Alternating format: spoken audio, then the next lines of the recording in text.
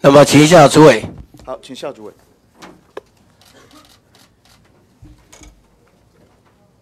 赖委员好。呃，我想任何一个委员可以到任何委员会质询了，这是他的职权呢。我觉得其他委员不需要这个动辄扣一些什么帽子的哈。第一个，我想这一次当然现在回来之后啊，我们看到是国际媒体一片暗战。最新的不是美国国务院暗赞马习会，欧盟肯定各方面，你要不要讲一讲国际各个国家对这个这一次马习会的总体的评价怎么样？你要不要讲一下？其实外交部在他的报告里面啊都有把各国的这个立场说的也很清楚，各国的评论，我们我们当然关注的特别是几个重要的国家，对，特别美国怎么样？我想美国的美国的国务院。发言人很早就说，在十在十一月八号，他也讲了欢迎两岸领导人间会晤，也讲这是一个很重要的。美国是肯定的，对欧盟呢？欧盟也是欧盟对外事务部是也说过这个非常令人鼓舞的一步，好，这认为期待会日本怎么讲？日本说这这这个日本将密切关注这个进展，台海和平稳定地区来整个世界极为重要。所以问题应该应该直接展开对话解决。好，新加坡怎么讲？新加坡也讲同样的话，认为是一个重要的这个里程碑。新加坡在中国大陆这边邀请下协助安排，作为他们长期的友人，他们乐意协调直接对话，强调新加坡。好，我们可以看得到啊，全世界主要的大家关心的国家，特别跟国。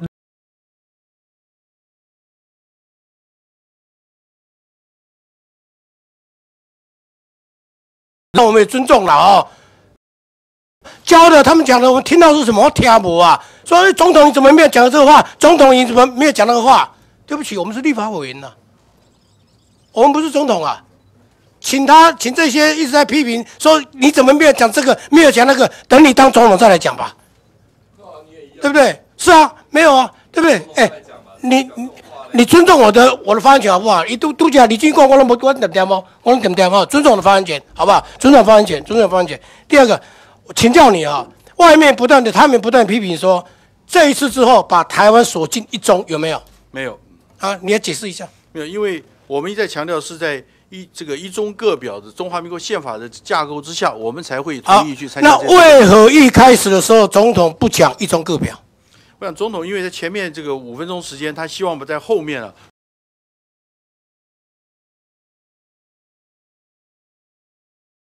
大家都很清楚，赵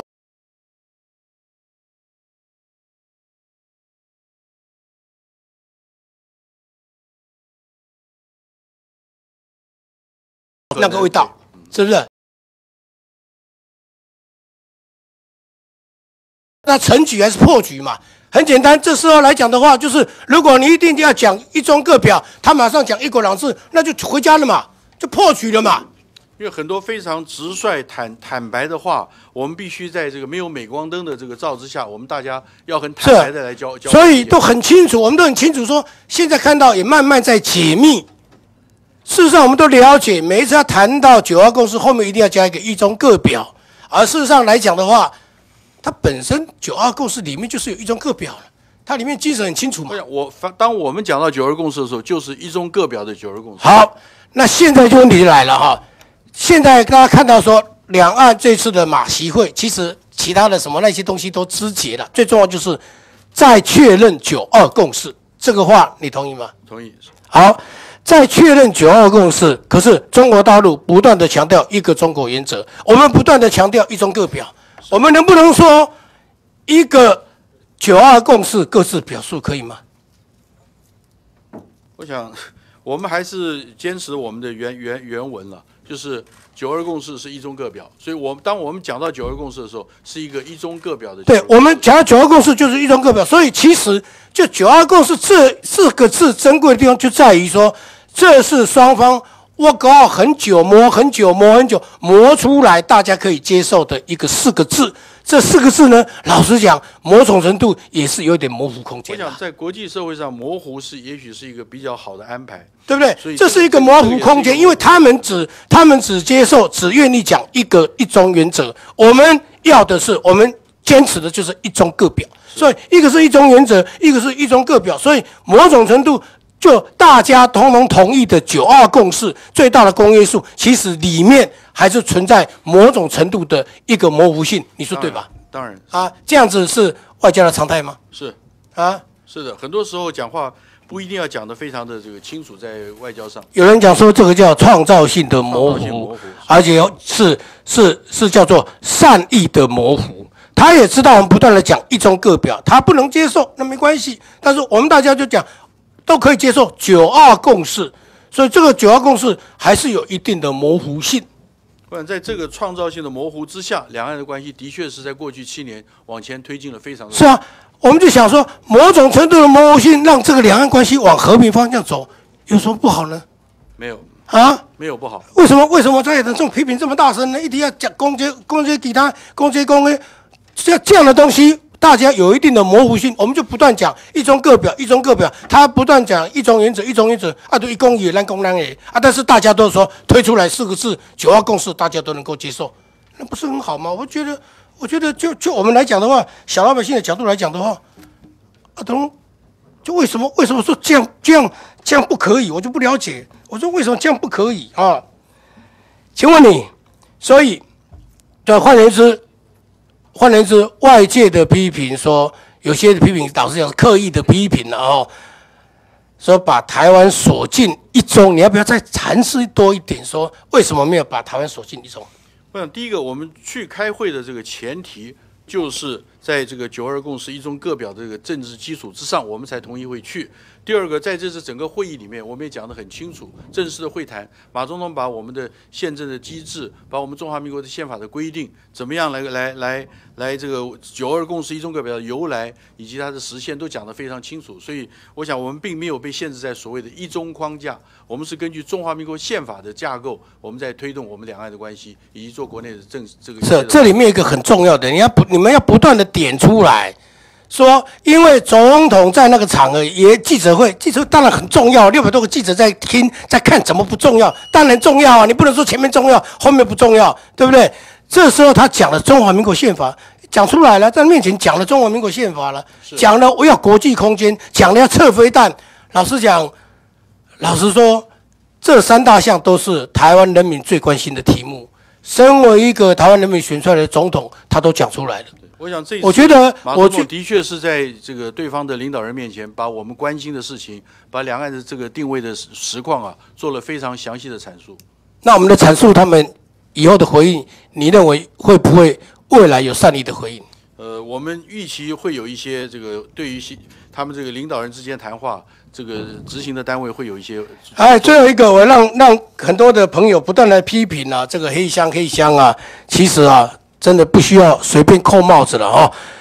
美国总统奥巴马跟十八个月谈判，跟古巴要建交，国会同仁不知道，国会同仁不知道，美国国会谈判期间不知道有没有表决，让国会表决没有。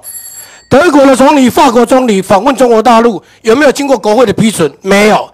中日韩三国的高峰会议事前，日本有没有批准的？没有，这是一个国家元首的权限。我报员最重要的就是说，在处理这一类的事情的时候，我们我们要分什么叫外交机密，什么叫机密外交。我们反对这个秘密外交，可是我们对于很多外交上的敏感的事情，我们要成成熟之后才能向国会做报告。我们最最后我就一句话：当。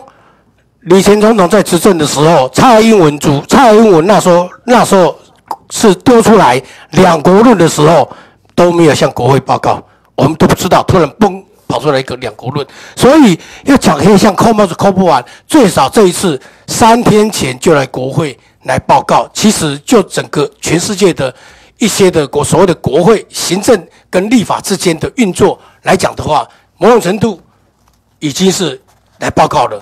我是觉得大家要讲一套，做一套就好，不要说一套，另外做一套。就是我们要监督，就应该让总统来。各位很多的反对党的这些的这个先进们呐，好好的去问啊，总统为什么你不讲这个？为什么不讲那个？那时那个时候才真正的这个民主，要强调台湾的民主，那才真正台湾的民主价值，就是让总统来接受国会的监督。谢谢。好谢谢。所以赖委，你的意思是说可以询答？有询答吗？这个诸位，你刚才给我们的这个是是你们整理的这个逐字稿啊对？你们有没有写错啊？因为我在这边有一段呢，我念一下，你听一下啊。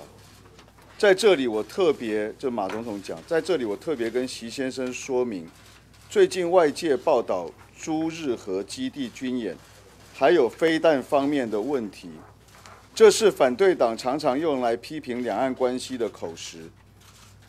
如果有机会的话，贵方能够采取一些有善意的具体行动，应该可以减少这一类不必要的批评。所以我们在立法院或者是媒体报道，这些都是不必要的批评。所以我只要跟你确认，马总统是这样讲，没有错哈。